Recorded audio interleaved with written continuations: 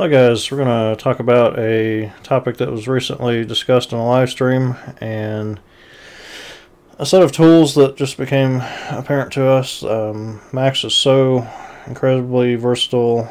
Um, there's so many different options in there that, you know, we're constantly learning new things and I want to share some of that with you. Uh, anytime I become aware of it, I, I like to put a video out there and, and hope it helps people work a little bit more efficiently and um, what I'm doing here is even not the most efficient way. I'm sure there's I'm sure there's even more efficient ways to do it, but this will help speed something up. Excuse me. So in the scene, we're looking at this Goodyear building right here. Uh, you can see it's got garage doors on the garage door on the end, two on this side, a little entry door and a window. Um, I prefer to use the Boolean method where I create a box that's the size of a garage door, 8 feet by 16 feet. And I've got just got that clipping through there. I've got two of these uh, buildings in the scene. One's going to be cut and one's not going to be cut. The one that's not going to be cut is the one that will end up in the game. Um, the one that I'm cutting is just so I can get the wireframe to apply to the texture and then I can paint the garage door to match the wireframe and then I know that that garage door will end up being you know 8 by 16 uh, perfectly located on the texture and all that kind of stuff. Um, we've covered that in other videos so I'm not going to go into too much detail. The point of this video is to talk about toolbars, um, creating your own toolbars. Um, so I'll quickly show some of the process here. So I've got this you know, the old way was right click, convert to editable poly, or apply edit poly modifier to it.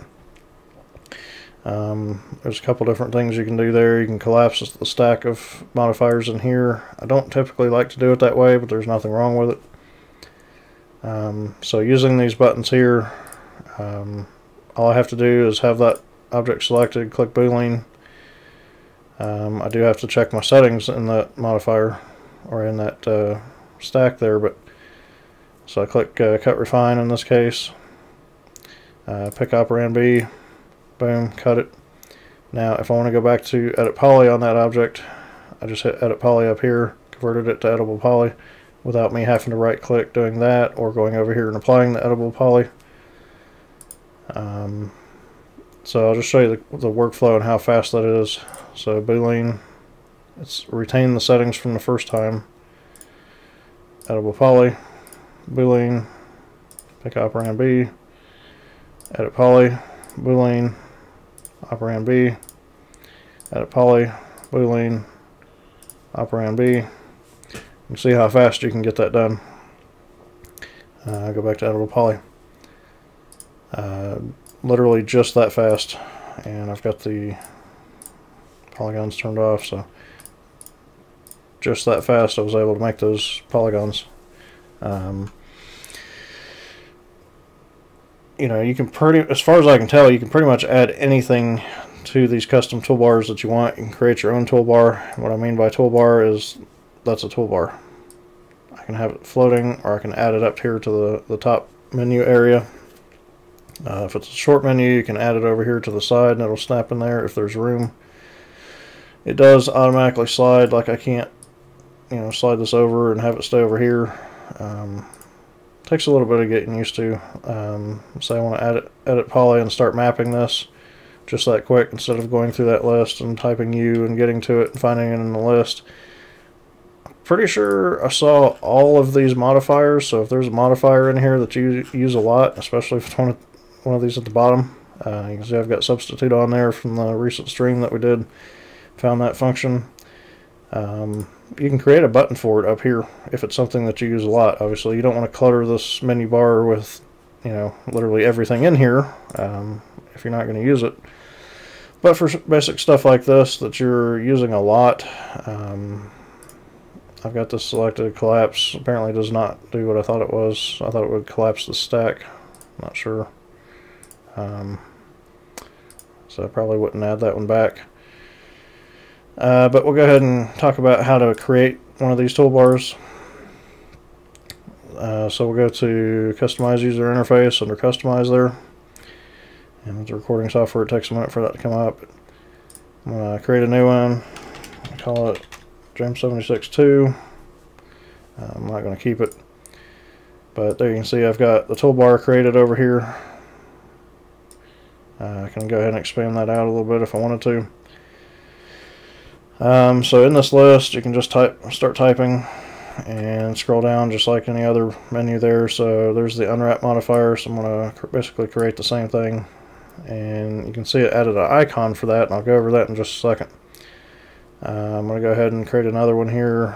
Um, so I'm going to hit substitute so you can start typing the whole thing to get closer to. Uh, there's the substitute modifier. So I'm going to drag that into there. Um, see, probably edit poly. So there's an edit poly modifier. So we'll add that into there. Um, let's add Boolean. Boolean compound object is the one I used. You can see some of them apply with icons and some of them don't. Uh, what I'm going to do is grab that, bring it up here. You can see it automatically switches to a horizontal menu and snaps into the last position there. Uh, once I'm done with that, I can go ahead and close the customized pane there. Uh, you can see I can grab those two vertical lines and slide this around if I wanted over here and wanted another toolbar over here. Uh, you can create separate toolbars for separate groups of things, um, however you want to break that down. Obviously you're limited to how much space you have up here, but you can, I believe you can add as many rows as you want. Of course that eats into your workspace. So you have to kind of question what, what you want to do. I believe you can totally redo this menu up here if you wanted to add your own set of icons up here. Um, for these particular functions, I preferred the text instead of the icons. So how I would change that if I wanted them to all be icons or all be... Um, you, could probably make the toolbar smaller if you used icons for everything. Um, but what you do is just anywhere in those, just right click. So apparently you can't edit the, the top uh, toolbar, but I'm sure you can make your own that replicates that and then edit it that way. Um, but see the first, the one I made before, I've got it all text, so I'm clicking right click and then edit button appearance. Uh, you can change it to different icons here in this drop down. There's a bunch of different icons available. Um, choose anything that you want. Uh, you can see it changed. Now for some reason it doesn't change. Um, I'm going to change it back to unwrap. When I was testing it earlier it doesn't always change.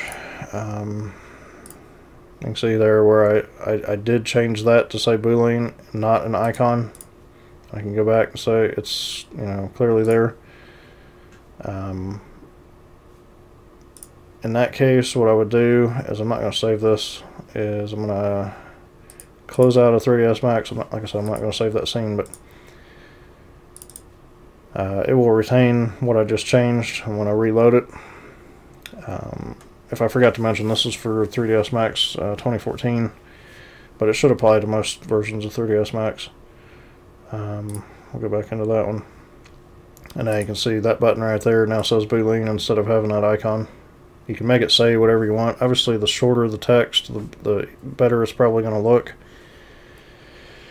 Um, you kind of kind of uh, abbreviate, edit poly, kind of things like that instead of convert to editable poly. I think is what the default is. Um, so any basically anything in these lists, any of these standard primitives and things like that, you can create a button for it up here. Um, just use that to increase the speed of your workflow um, save a lot of a lot of clicks. Because I'll show you how we how we did it before which is having this selected compound objects boolean cut refine pick operand B uh, right click convert to editable poly back over here. You can see how tedious that is for each one of those. Yes it can be done. Yes it's not that bad. Um, but you can come up with some pretty uh, creative shortcuts um, to cut out a lot of uh, clicking and back back and forth and menu switching and stuff like that. So, um, edit poly, boolean, operand B. You see how much faster that is. So, anything you can do to save clicks in 3ds Max helps. So uh, hopefully that helps you out. Um, thank you for watching.